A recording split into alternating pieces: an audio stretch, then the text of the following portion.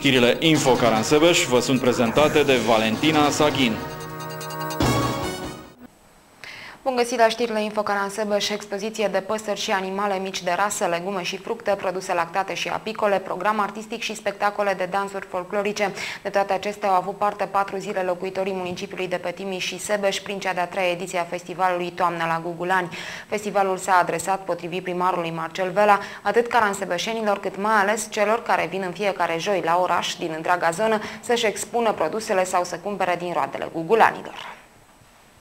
Ediția din acest an a festivalului Toamna la Gugulan s-a încheiat duminică 7 octombrie, mii de caransebeșeni bucurându-se în cele patru zile de oferta deosebit de bogată a producătorilor agricoli veniți pe malurile Timișului și Sebeșului din toată țara Gugulanilor, dar și din zone mai îndepărtate precum Rucăr, Ineu sau Hațeg.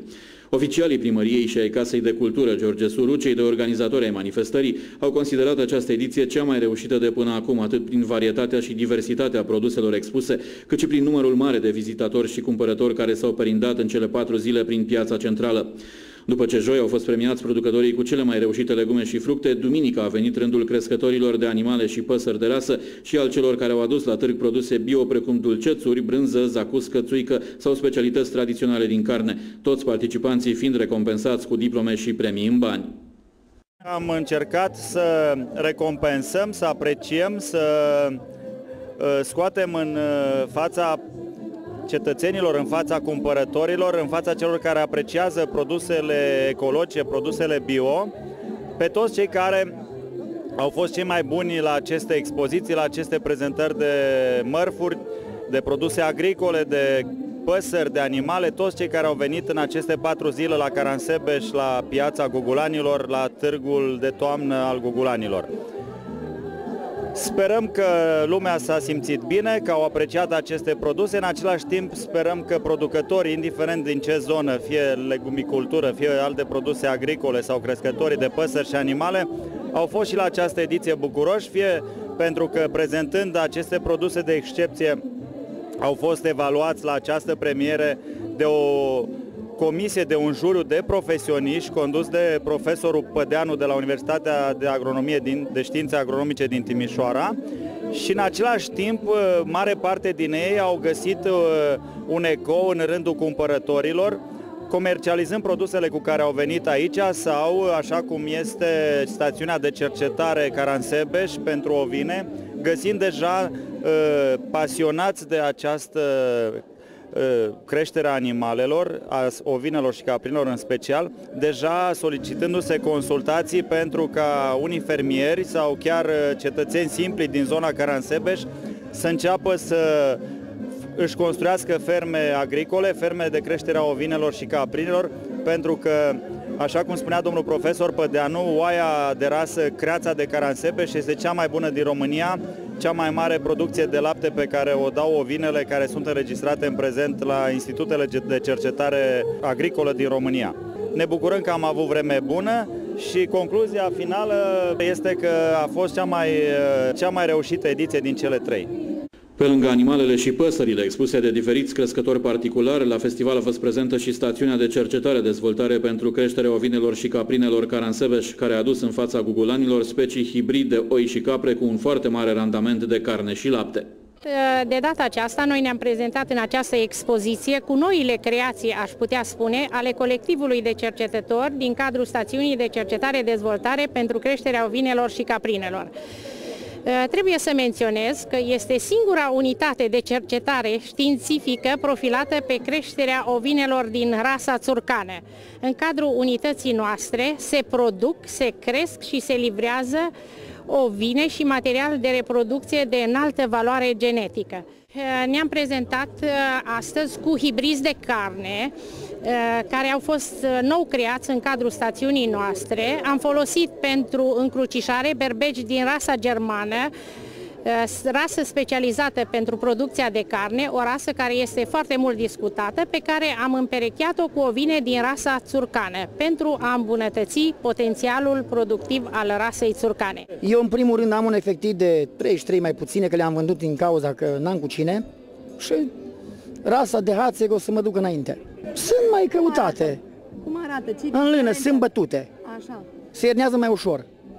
Cam la cât ajunge o până în 70 de kilograme, 80. De unde sunteți? Cum vă numiți? Scurtul Mihai din Valea Timișului. Câte oi aveți? 33. 33. Da. Și Da. acum la piață cu câte ați venit aici? Cu Câte exemplare? 7. Au fost ele apreciate de către vizitatori? Da, da, da, foarte mult. Ștefan Romus, Cum, ce rasă este oaia asta care are coarnele astea toate surcane de încurcate? Petroșani. Tot de Petroșani. Da. Îți place zona asta Ardealului? Da, păi sunt cele mai bune oi. Pentru carne sau pentru lapte? Și carne și lapte. De exemplu, asta a avut 3 litri și 200 când a fătat. Deci pe zi. Am înțeles. Bucălaia asta mare. Câte oi aveți acasă? 614. 614. Și aveți piață de desfacere? Ce valorificați? Avem. Laptele sau carne? Și lapte și carne. Tot merge în zona Banatului sau duceți Da, mai tot departe? aici așa, în zona Banatului. Manifestarea s-a încheiat pe acordurile muzicii populare și în sfârâitul grătarelor, caransebeșenii profitând de poate ultima zi de vară din această toamnă. Lucrările de modernizare a trotuarelor din Caransebeș, care continuă în aceste zile în cartierul Pipirig, au fost verificate la finele săptămânii trecute de primarul Marcel Vela. Acesta s-a deplasat în teren unde s-a declarat mulțumit de ritmul și calitatea lucrărilor. Mai multe edilul a anunțat că astfel de investiții vor continua și anul viitor în alte cartiere ale municipiului. Preocupat de modernizarea trotuarelor cu pavele care continuă în aceste zile în Caransebeș, primarul Marcel Vela a mers vinerea trecută în zona centrelor comerciale Kaufland și Lidl pentru a verifica modul cum decurg aceste lucrări. Edilul a discutat la fața locului cu dirigintele de șantier care l-a asigurat că lucrările sunt în grafic, chiar dacă uneori mai apare câte o problemă. Așa s-a întâmplat și vineri, un șanț de scurgere a apei pluviale dând bătăi de cap constructorilor, însă în urma discuțiilor s-a găsit și soluția, montarea unui tub care să preia apa din precipitații. Potrivit edilului șef, lucrările din cartierul Pipiric prevăd la fel ca în zona centrală și montarea gardului din fier forjat pe ambele trotoare, astfel încât cetățenii și elevii care frecventează unitățile de învățământ din zonă să fie protejați. Suntem uh, în faza în care depistăm pe teren tot felul de anomalii și împreună cu constructorul să găsim sol- și cu dirigintele de șantier să găsim cele mai bune soluții pentru a ne armoniza și cu situația din teren și cu uh, varianta optimă care convine și cetățenilor și constructorului și administrației locale, evident, fără să fie costuri suplimentare. Sperăm să terminăm cât mai repede și lucrarea aceasta de amenajare a trotuarelor din Pipirig până la intrarea în cartierul ACH și până în cartierul uh, din zona sălii sportive polivalente din Caransebeș, urmând ca la anul să continuăm în acest cartier uh, zona de trotuar din fața liceului mecanic până la grădiniță, până la următoarea intersecție. Edilul a adăugat că tot în această toamnă municipalitatea a mai pregătit o surpriză în ceea ce privește înfrumusețarea Caransebeșului. Vom uh, planta copaci importați din Olanda și în jurul tulpinilor, vom, în locul pavelelor, vom uh, monta uh, un fel de grilaje de grătare prin care apa pluvială și uh, cei de la serele din Caransebeș să poată uda acești copaci ornamentali. Doi canasebeșeni au vrut să facă un ban și s-au gândit că cel mai ușor le-ar fi să valorifice niște capace metalice de canal la fier vechi. Socoteala lor nu s-a potrivit însă cu cea a polițiștilor locali care i-au depistat chiar cu câteva zeci de metri înainte de o societate de profil. Chiar dacă au încercat să le explice polițiștilor că au găsit capacele aruncate la voia întâmplării, cei doi s-au ales totuși cu dosare penale. Și la Caransebeș, capacele metalice de canal reprezintă o atracție pentru amatorii de câștiguri ușoare și imediate. Săptămâna trecută, polițiștii locale au depistat doi bărbați care se îndreptau spre o societate de valorificare a fierului vechi, având asupra lor mai multe obiecte metalice, printre care și un capac de canal. Cei doi le-au spus polițiștilor că au găsit capacul aruncat în tufele din zona fostului model Tibiscum, însă explicația lor nu a fost convingătoare, astfel că s-au ales cu dosare penale pentru furt. Am fost anunțat de către un cetățean că două persoane se îndreaptă cu un căruț, având în căruț uh, un capac de canalizare. Am anunțat uh, șeful ierarhic, după care împreună cu un agent local uh, i-au, gă- i-au găsit, pe, îndreptându-se spre, pe, spre șesul roșu, spre fier vechi, i-au prins chiar pe podul care duce spre gară. Aceștia au fost reținuți și au fost aduși la poliția locală Caransebeș. Municipalitatea avertizează din nou firmele care achiziționează fier vechi că riscă să rămână fără autorizație de funcționare în cazul în care primesc spre valorificare capace de canal. Preasfințitul Lucian, episcopul Caransebeșului, a participat la deschiderea anului universitar la Facultatea de Teologie din Caransebeș. Studenții de la secția Teologie Ortodoxă Didactică a Facultății de Teologie, Științe Sociale și ale Educației din Caransebeș au participat în deschiderea anului universitar la o slujbă de Tedeum oficiată în Catedrala Episcopală Învierea Domnului de Preasfințitul Părinte Episcop Lucian. Festivitatea a continuat în sală Episcop Elie Miron Cristea a Centrului Eparhial. La acest început de an universitar, îl rugăm pe Dumnezeu să ne dea putere ca să continuăm lupta cea bună pe tărâm științific, academic, la facultatea noastră de teologie. Să putem să propășim, să ne înnoim și să devenim lumină a lumii. După cum ne îndeamnă Mântuitorul Iisus Hristos, voi sunteți lumina lumii. Au participat alături de studenți și cadre didactice și reprezentanți ai Universității Eftimie Murgu din Reșița, în cadrul căreia funcționează facultatea.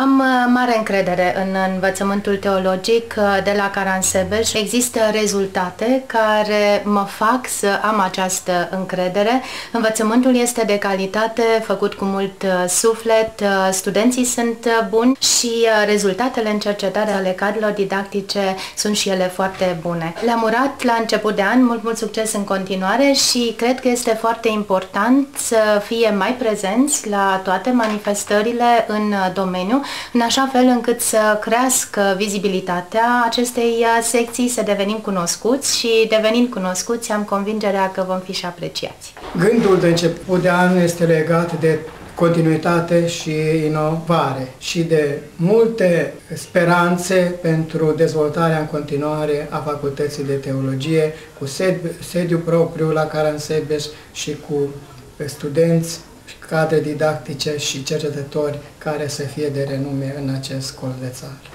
Secția Teologie Ortodoxă Didactică a Facultății de Teologie, Științe Sociale și ale Educației din Caransebeș este continuatarea vechiului Institut Teologic din municipiu.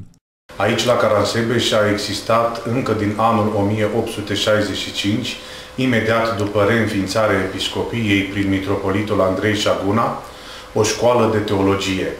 În anul 1927, acest uh, institut teologic a fost ridicat la rangul de academie, dar în 1948 a fost desfințat de autoritățile comuniste.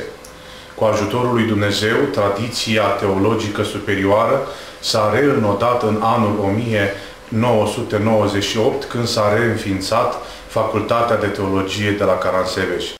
În cadrul secției de teologie de la Caransebeș sunt înscriși anul acesta universitar peste 100 de studenți. Urmăriți în continuare rubrica Sport prezentată de la Vinia Călina.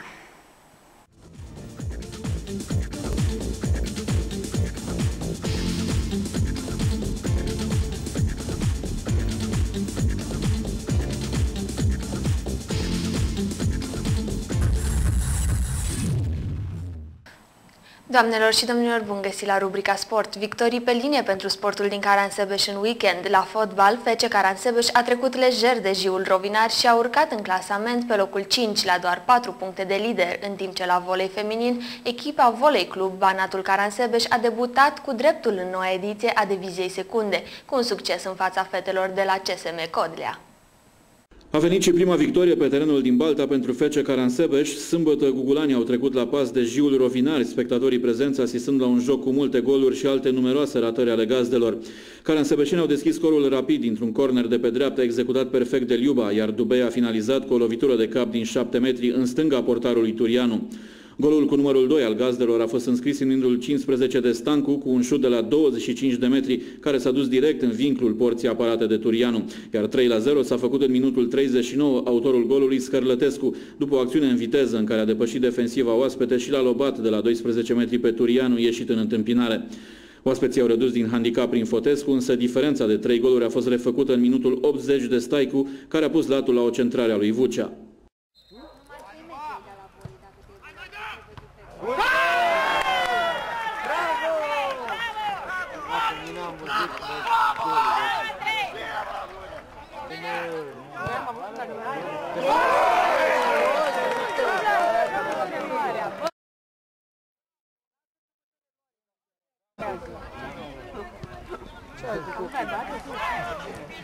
Să ia pe timp, nu mai contează. Uite, ce Nu, deja nu mai e. Da, deja te-am. Nu, așa, te-am de meci. Gaci? Gol,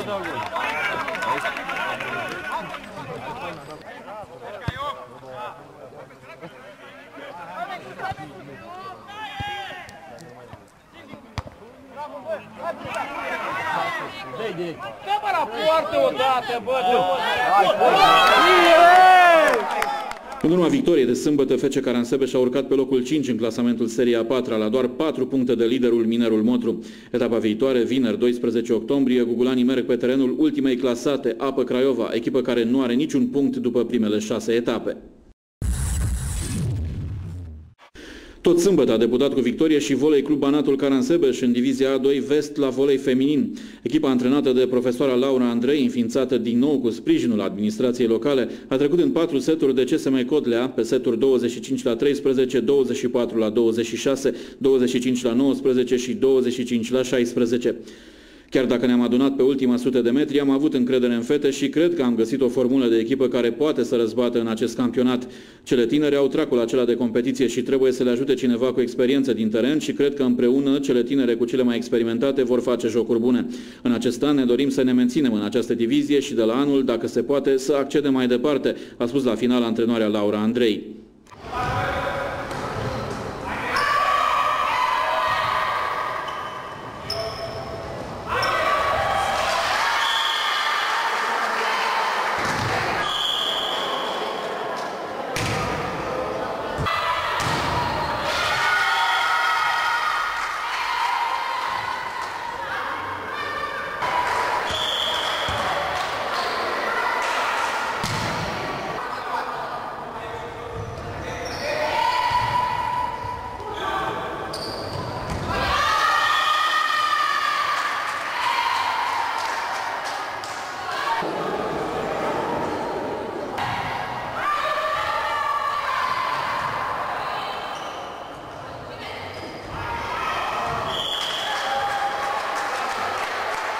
În etapa a doua, volei Club Anatul Caransebe joacă sâmbătă la Baia Mare.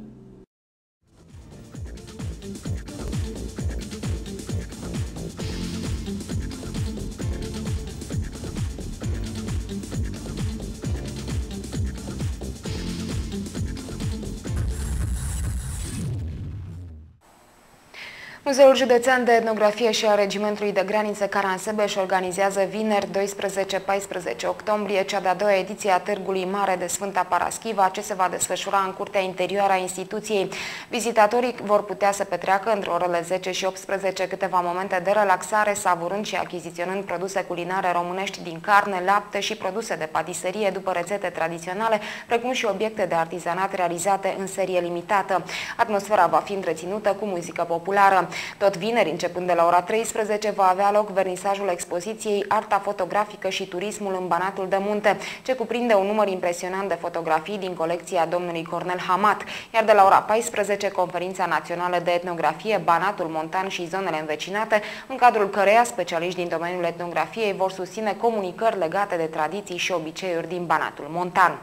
Aici se încheie ediția săptămânală a știrilor Info Caransebeș. Vă mulțumim pentru atenție. La revedere!